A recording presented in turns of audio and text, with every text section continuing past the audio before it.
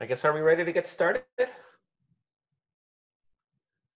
I think it is four o'clock slash 7 p.m.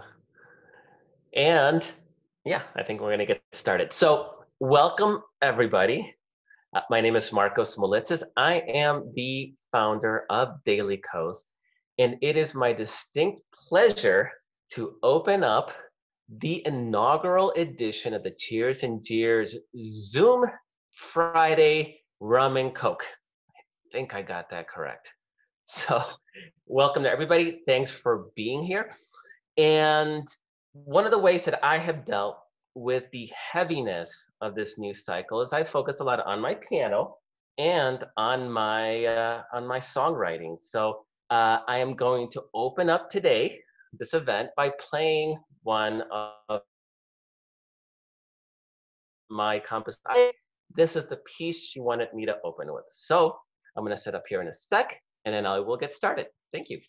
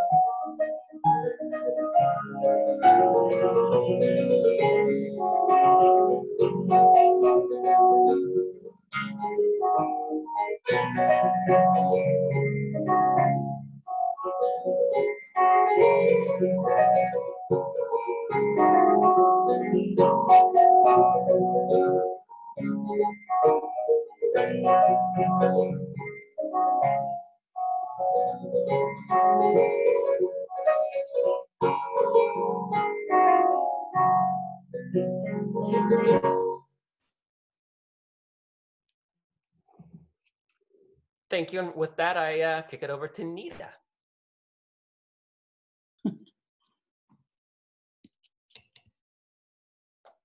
Am I up? I hope so.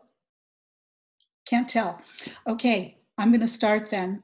Uh, welcome, everyone. This is Nita Lind, uh, Director of Community with Daily Kos. Uh, thank you so much for joining us today and jumping through all the hoops of everything uh, to uh, join us. We really appreciate it. I want to thank all the panelists uh, for being so cooperative and also the musicians that we have. We've set up our program for some audience participation.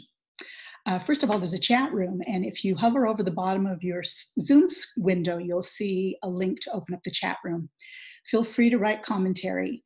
Uh, make sure that you check the little mark that is for panelists and attendees, or you'll only see one or the other. Uh, we won't be able to extract out questions, but write all the LOLs and feels that you want. We'll have three, three quick polls throughout the event. A screen will pop up with the question and places for you to answer, and Bill will announce them. So just sit back and relax till they happen.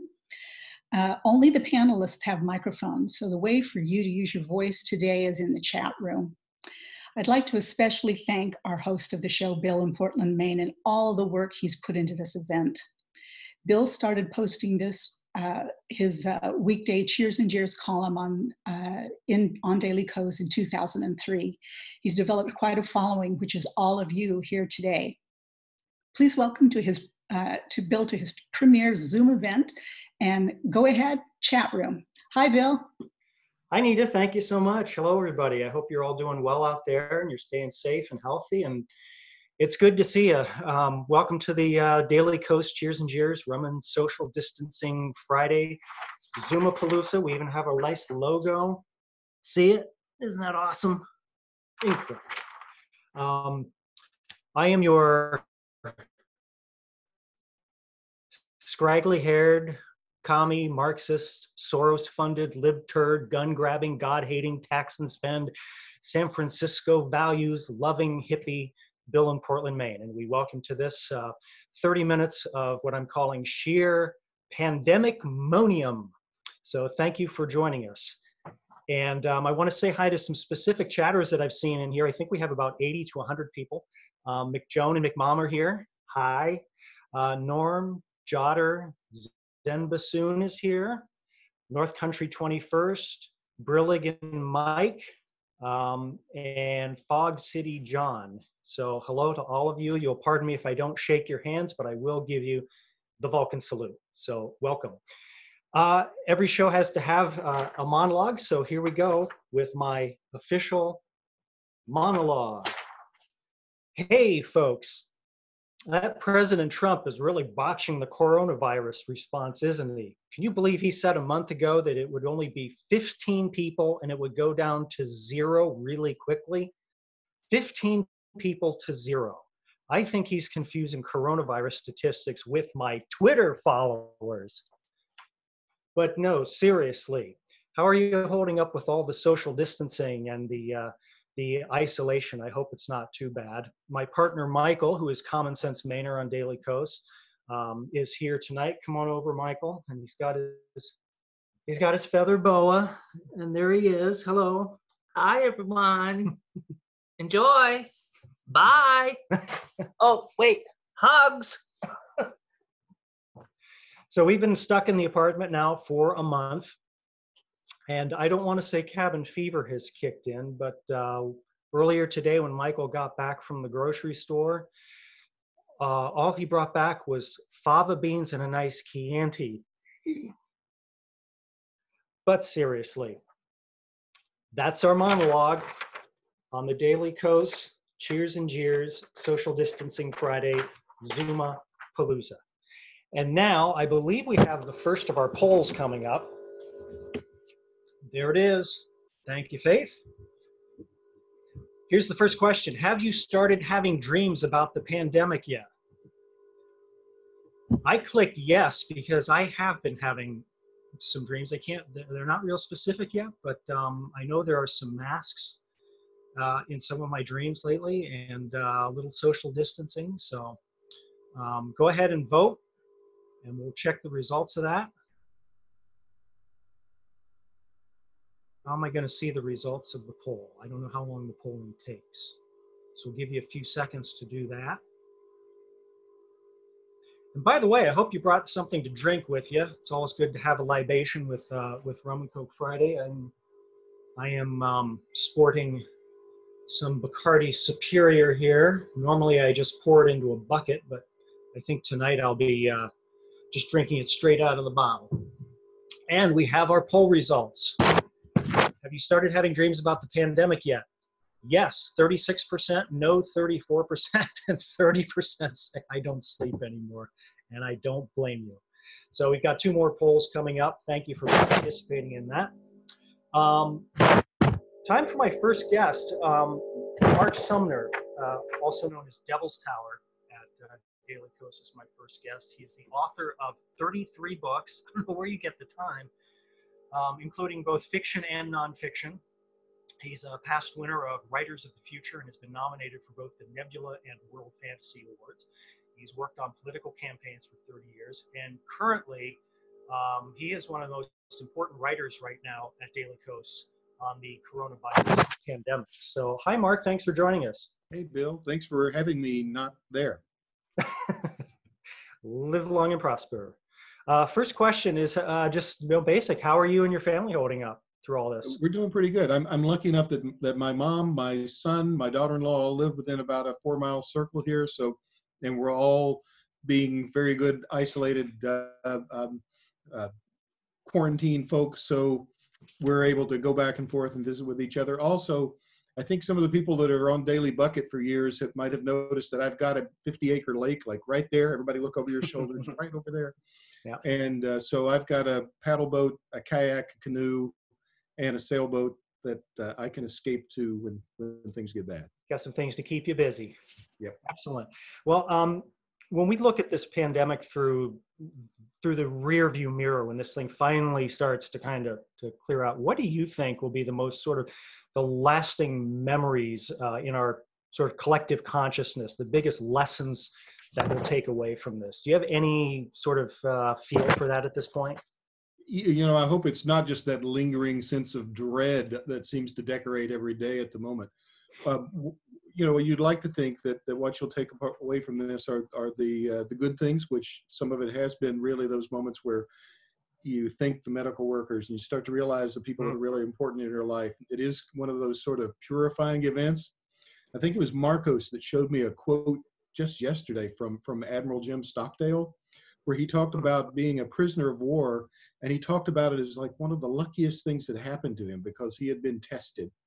He'd Hmm. been tested, and now he knew how he'd respond. So, so you know, in the best of all, we've all been tested. We're all in that crisis, right? So now we really, you you have that knowledge of, of how you respond in a dilemma, and and hopefully we all come out of this kind of proud of how we handled ourselves. Yeah.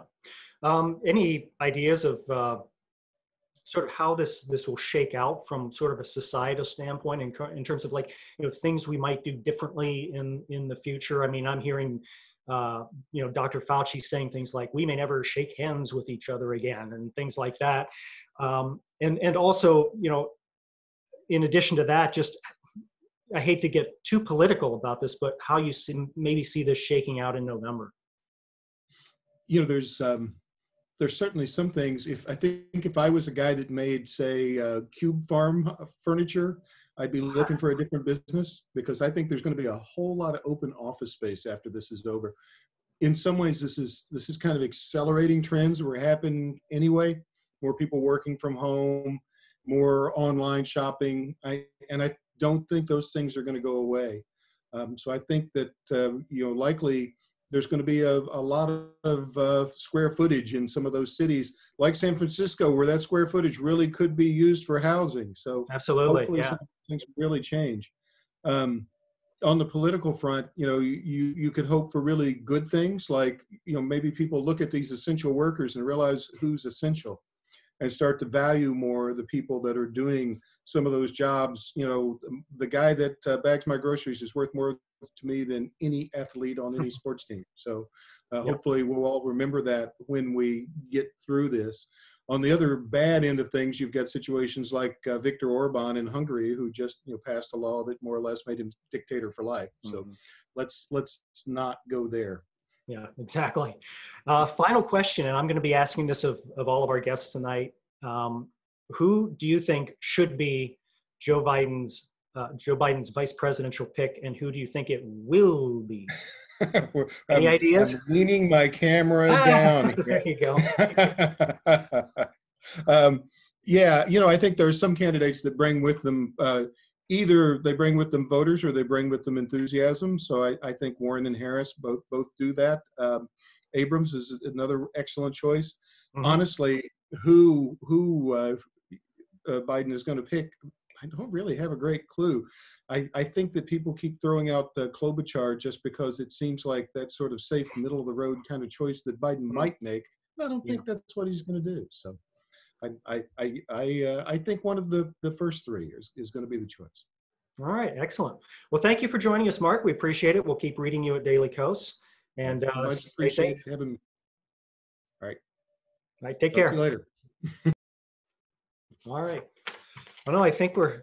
I, I think we're. I think we're experiencing technical difficulties here. I think. Oh no! Oh no! We're buffering. Oh no! Oh no! Buffering. just kidding.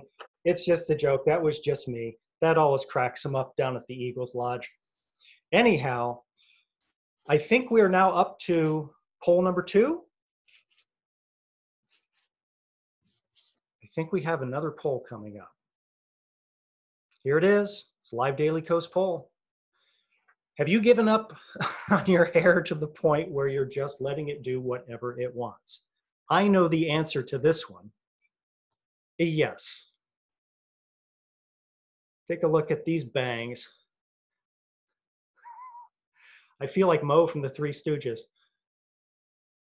this is this is about uh, that's about two months worth, and I think I've probably got another two months worth that's going to be uh, on top of that. So vote now. We'll tally our results up here.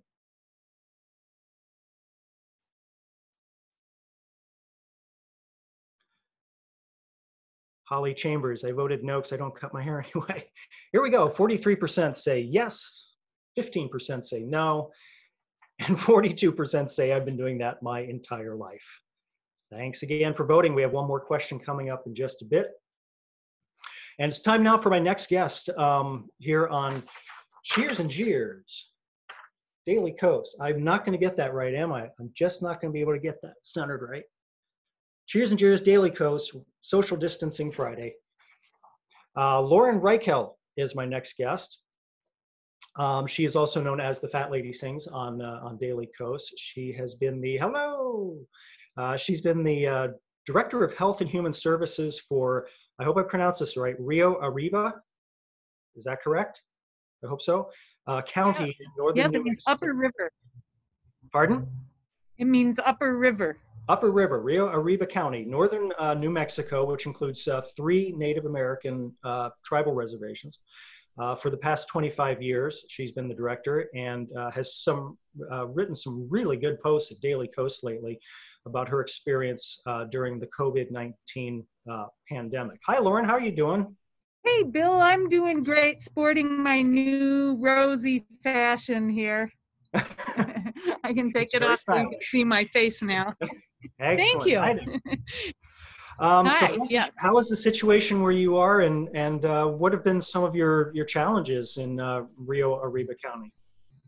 Well, right now, Rio Arriba County is doing fairly well, but we are expecting our peak in mid-May. Um, so I just got Department of Health. Right now, we have 10 cases. We're expecting 7,000 by then. Wow. So we're just ramping up, and it's very challenging because we're so rural. Um, it, we're majority Hispanic, and we do have several Native American tribes. But uh, when this first broke, what I did was I brought all of our providers together.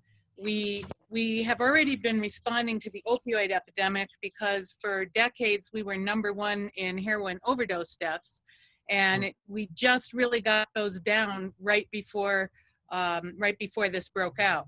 And so we used the same infrastructure that we've been addressing that that epidemic with. We just switched it over to look at COVID.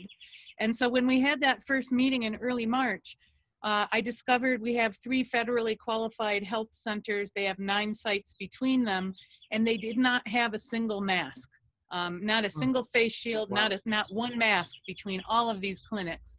So the county had a stockpile of masks from H1N1, and we gave them out to our clinics. And then that's when I put out a call for volunteers to sew masks. Uh, and so that's what we have been. We have a whole team of 3D makers. Well, there's two 3D makers with about five machines. Mhm. And um, the rest are, uh, we're calling them seamsters because sewers looks like sewers when you spell it. yep. Now, is this the project that that is um, that you've you've created called Rosie the Respirators? Yes, it and we- Yes, Rosie the Respirators, where that's how we're on Facebook. And we started by sewing bandana fabrics because I was just outraged by that guidance from the CDC that doctors should just tie bandanas around their faces and nurses. That was Yeah. outrageous. So, but then now we're just whatever we can get our hands on because what plastic anywhere. Um, people are out of fabrics, the stores are.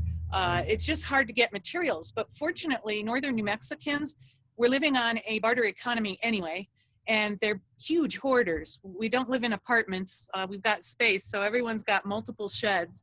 One woman managed to pull 800 plastic gowns she'd sewn 20 years ago out Wow. of her shed. She was gonna sell them to uh, hairdressers, but then didn't like marketing. So we got those out to various healthcare providers. Excellent. Um, you recently wrote, and I want to quote this. You wrote that part of New Mexico's success in flattening the curve is the result of the willingness of its leaders to tell the truth and of its citizens to chip in. Now, how is um, how are the state authorities like Governor Governor Grisham doing in terms of sort of the nuts and bolts collaborating and coordinating with you, and and also how are they doing with uh, the important component, which is just keeping your morale up and letting you know that there is eventually going to be light at the end of the tunnel. Well, I think Michelle Lujan Grisham is doing great, and we're very lucky because she appointed as the uh, infectious disease czar uh, our own county one of his one of the EMS directors in the county. He's he was with the state for many years. He's very smart, so that gives us a direct line to what's going on. Um, I think really I really consider it more my job and the job of others like me me to keep the morale up. But uh, the governor does. She goes on the uh, she's on face. She talks about her mother who's in a nursing home and her own family. And uh, I've known her for almost 25 years now. And I really, when she, she was first elected, I thought she was going to be like Bill Richardson, who I didn't have a lot of use for, but she has been amazing. Her response to this pandemic has been incredible. She really got out in front of it. Um, she shut down the state when we had our first case, and we hadn't even had a death yet and she has just had I, all i can say is power comes in small packages and um, she's just really been there for this state and we're so glad we have her excellent and last question i asked this of mark and i'm, I'm asking it of, of uh, all of our guests tonight um, who do you think should be joe biden's vice president and who do you think will be joe biden's vice president well, I think Michelle Lujan Grisham should be uh, Joe Biden's vice president, except I would really, I, I really debated whether to say that because we'd hate to lose her here. Um, nobody could take her place. Uh, I also love Elizabeth Warren and I love um, uh,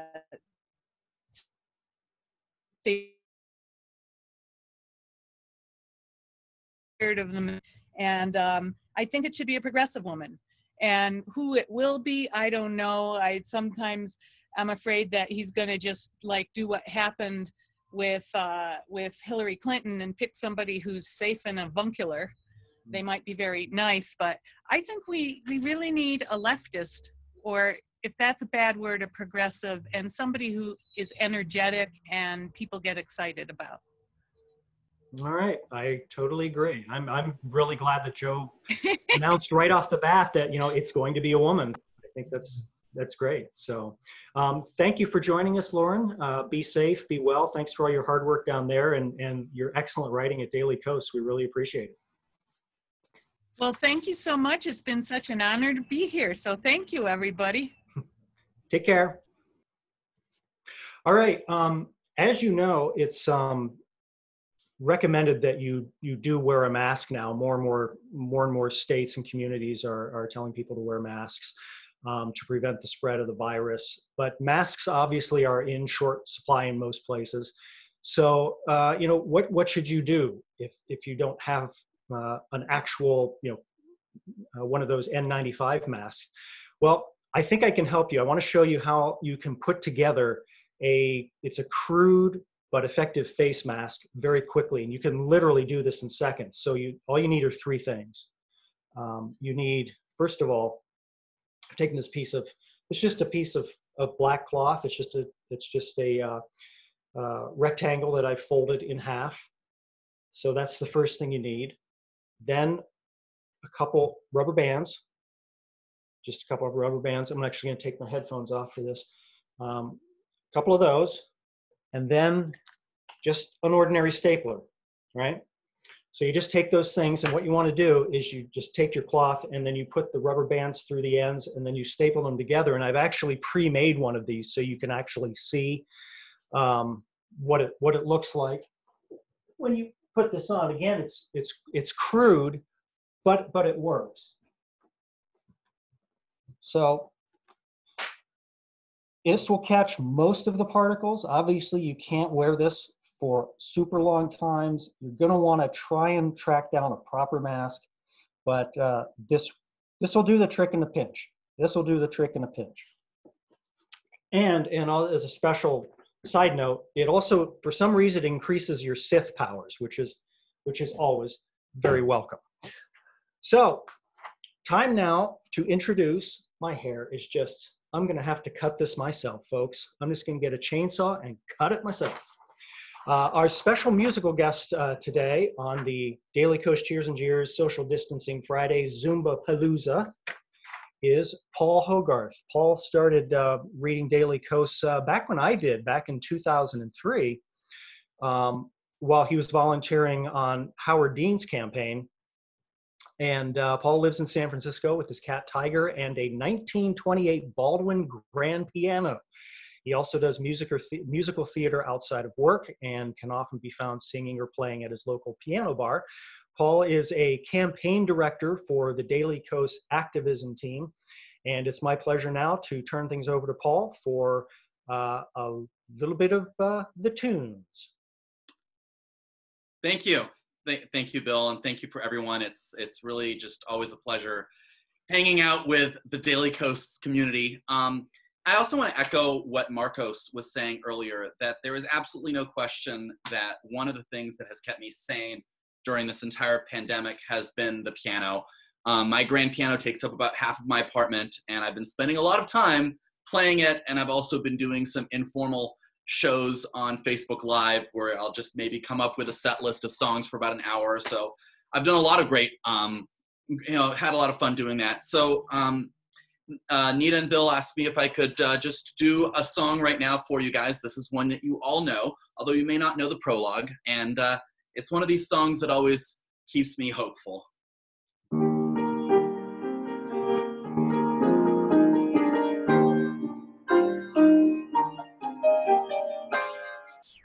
When all the world is a hopeless jumble and the raindrops tumble all around, heaven opens a magic lane.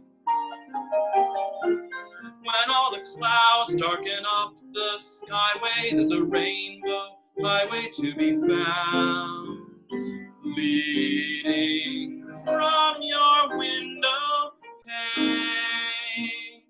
to a place behind the sun, just a step beyond the rain.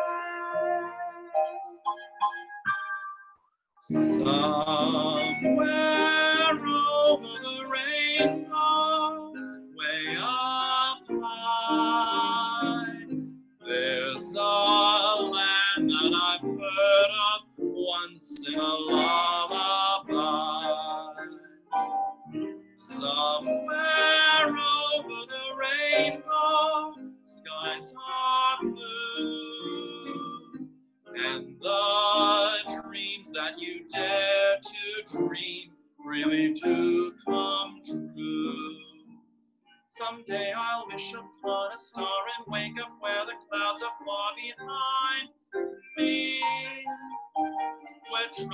melt like lemon drops away above the chimney tops. That's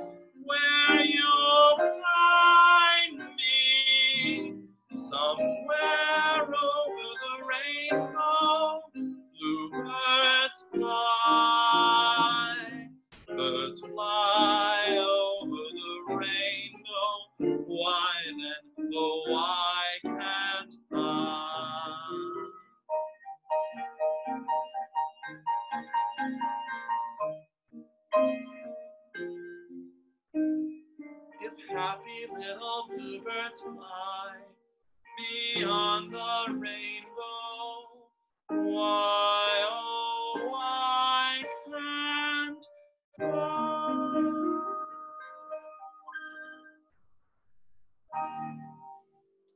Thank you, Paul. Thank you. Thank you. Appreciate it. Stay safe, Of course. stay healthy, and keep on tickling those ivories. All right. Thank you. Take care. Thank you. All right, it's uh, time now to vote in uh, our third and final poll tonight, which uh, Faith is going to put up for us. And uh, oh, you're going to love this question. You're going to love it. You're going to love it. Does Donald Trump deserve a big fat middle finger for the way he's handling this crisis? Oh, here, I'll take care of this. Let's see. Yes, no. we would never ban anybody here. This is Zoom. So I'm going to say yes. And we're waiting for the results. And don't forget, uh, coming up uh, as soon as we're done with this, what time is it? It's about 7.30 right now, Eastern time. Uh, after we're done with this, I'll be heading over to Daily Kos for the uh, normal hard copy edition of Cheers and Jeers, uh, Rum and Social Distancing Friday. So we hope you'll come over and join us for that. Result, 0% say no. I love that. 49% uh, yes, 51% cannot say what they're thinking right now or they will be banned. Completely understandable. Thank you for voting, folks, in, in our polls tonight. We appreciate it. And um, it's time now for my final guest um, here on Cheers and Jeers. Rum and social distancing. I'm never going to get that centered right. Dang it. Friday. Denise Oliver Velez is our, our guest. Um, she is right along. You've done so much. Um, a pioneer in the civil rights movement, uh, political activist, community organizer, uh, civil, right, uh, civil rights movement, women's rights movement participant, AIDS activist, HIV/AIDS ethnographic uh, uh, researcher, Young Lords Party and Black Panther Party member, broadcaster. In addition to your writing for Daily Kos, at which you're a community fellow, uh, co-editor of Black Kos and author of what I consider must-read Sunday morning uh, front page posts. Um, you're also a retired adjunct professor of anthropology and women's studies at SUNY New Paltz. So, hello. Hi, Bill. How cheers you doing? And cheers, and hi, everybody. Good to see you. Um, how are you doing in your quarantined household there? Uh, we hope you're doing well. Well, I'm in New York, but I'm in the part of New York that everybody forgets about. I'm in the Hudson Valley. I'm in a, I live on a farm. My husband, two dogs, three cats, and chickens. and awesome. We have, we've had quite a number of cases up here, and our problem is also that we're rural. Mm-hmm. So even though we have Woodstock, but we have a really good congressman, Antonio Delgado. He's been doing a really great job reaching out. And of course, our governor's been doing a great job too. Go Cuomo. Excellent. Glad to hear that. Um, one of the uh, most frustrating aspects that you say of, of, of this pandemic, um, which you've written about, is how uh, communities of color have been uh, affected so much more by this virus. Um, tell us a little bit about that there is not only um, a clear disparity in infection rates, but also in the death rates. And we've seen that not only in the Black community, but we're also seeing it in the Native American community mm-hmm. and in the Latino community. And I personally just recognize that we're also going through issues with the Asian American community every single Asian restaurant in my area is shut down. Wow. And none of the other places that do takeout, you know, did that. Mm-hmm. And I did some investigation locally and I talked to one of the owners, and it's about the racism that they're mm-hmm. confronting, the hostility, and they're frightened. So they're all closed.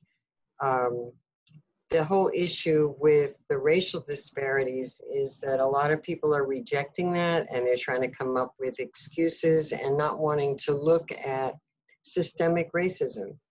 And people go into denial or they're uncomfortable talking about it, but we have to talk about it. And there are things that ultimately we can do. Yeah, what, what are some of the things that you think need to happen in order to uh, improve this situation for for community of colors? I know it's not it's not a cookie cutter thing. It's not certainly not easy. It's very complex but what would you recommend just uh, in general? First and foremost we need the data. Um, we need immediate collection of and release of democratic uh, demographic data and and that's one of the problems some states are collecting the data by race and ethnicity and others are not.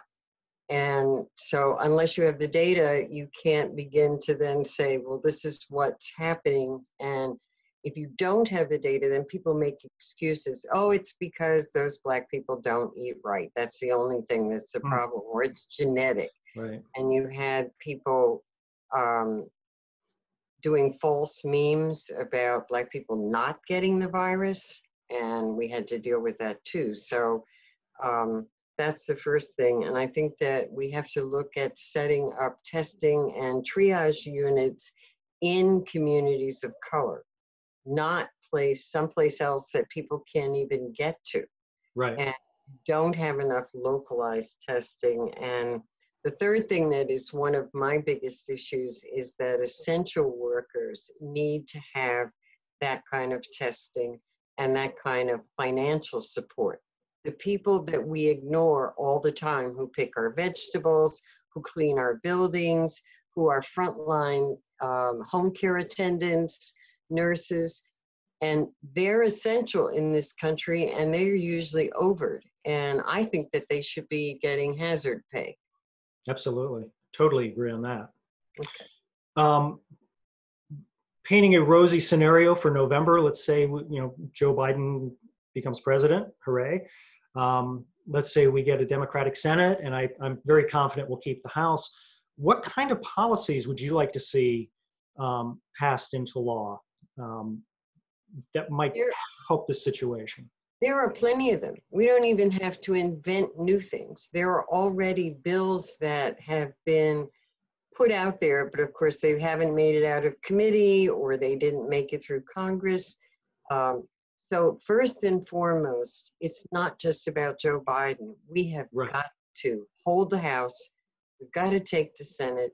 And we also have to focus on state houses because we know with that maniac in power right now, it's state governments that have been saving lives and it has not and in some states of course you've got lunatics in charge in the state. So those state legislatures are so key and we can't just focus on the presidency. Yep, that is true. Um, leading to my last question here, which which goes to the presidency. Sorry about that, but I'm, I've asked everybody. But do you have any idea who who who you would like? everybody listen anybody who reads me on Daily Kos knows exactly who i'm for for vp kamala kamala and kamala Yeah, And who do I think that Joe Biden is going to pick? I don't have a crystal ball. I have no clue, but I hope it's Kamala. okay. All right. Well, Denise, thank you for joining us, We Thank you appreciate for it. me. and uh, we'll continue reading you on on Daily Kos. Thanks so much. Take care. All righty. Uh, I have one more thing tonight. Uh, a, a special guest, a, a furry guest. Um, I decided to have my dog Haley on, um, although she's too big to fit in my lap. But I wanted to uh, play a little contest with her, and this is called uh, Three Questions for the Dog. All right. So um, she's down here by my feet, and she's a pretty smart dog. This is this is a picture of Haley. I don't know if you can see that. She's a rescue lab from Macon, Georgia and she's a sharp cookie.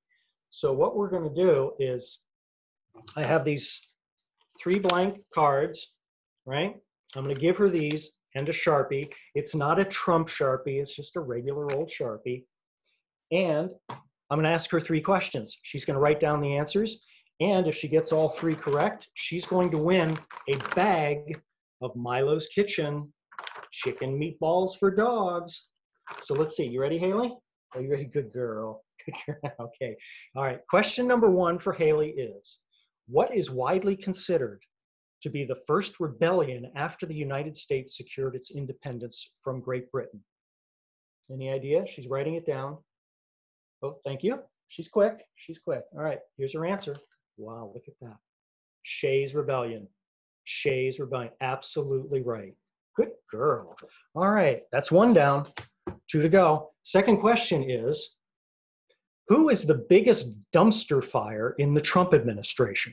Who is the biggest dumpster fire in the Trump administration? Any idea? Any, oh, she's writing down quickly. Any idea? Okay, thanks. Thanks, thanks, thanks, thanks. Okay. Oh, good girl. that is exactly right, Kellyanne Conway. Good dog. Good dog. That's she's. I said she's smart. What can I say? Um, and our final question, and this is this is a pretty. She should get this one quite easily. What is Einstein's theory of relativity? What is Einstein's theory of relativity? You know what it is? You do? She's writing. Oh, thank you. Here it is. E equals mc. Oh no, she wrote cubed. It's equals mc squared. I'm sorry, Haley. No meatballs for you. I'll give you a couple meatballs, but you'll have to try again to win the whole bag. Sorry about that. Good dog, though. Good dog. And that's our show for tonight. Um, I want to thank Markos and Denise and Lauren and Cara and Paul, Mark, Nita, and Faith, and of course all of you for joining us. Um, thank you so much. It's it's so wonderful to see so many familiar names um, in here visiting. Um, it's just it's just been terrific. And Good evening, Bill, Michael. hey, Mom, how are you? My fancy mask here. We I'm- keep I'm- missing each I'm- other at Netroots Nation. a surprise guest. Because Oh my goodness. It kind of looks like we probably aren't going to get together in Denver. Maybe Yeah. not, but but maybe next think year. we'll be like leak 20 or something like that. Something like that. Yeah. Shucks. But Shucks. Bring your chainsaw over here, will you, and cut my hair for me? I'll have to fly to Idaho and chop down some trees for you. How, Okay. how, how, how is everything in the McCarter household? Well, I'm feeling a little smothered. hmm You're not alone. The- The quote is, I'm not going to be the one to give my mother COVID 19. So, well, here she is. Here, Joan. She won't go on because she refused to do her hair. Here we go. Uh, well, look at me. Oh, brag, cheers. brag, brag. well, Oh, cheers. Cheers to you, sweetie. Thank you, and all the best to you. Good to see you. It's and we've this is the first time we've met in person, so It is the first time. what a pleasure. You stay healthy now, okay? I'll do my best. I'll keep All my right. foot out of dog gates. There you go. Yeah, please. Thank you. Please. All right. That's it from here, but I'm now going to uh, throw it over to Markos once again, and he's going to play us out. Thanks for joining us, folks, and join me over at Daily Kos for uh, Cheers and Jeers. We're going to post in a few minutes. Coach, you're sideways again. Oh no, I'm sideways again. All right, I'm gonna try something here, and let's see if there we go. There. Yeah. All right. I hope everybody liked that as much. I actually liked that more than I expected. if you want me to be honest, and that sounds worse than it does, but that was actually really, really cool. And uh, I hope we get a chance to do that again. That was amazing. So I get to play this out, right? So I'm going to play one more song. Um, this is one of my favorites that I've written. Uh, and uh, I hope you guys enjoy it. Thank you.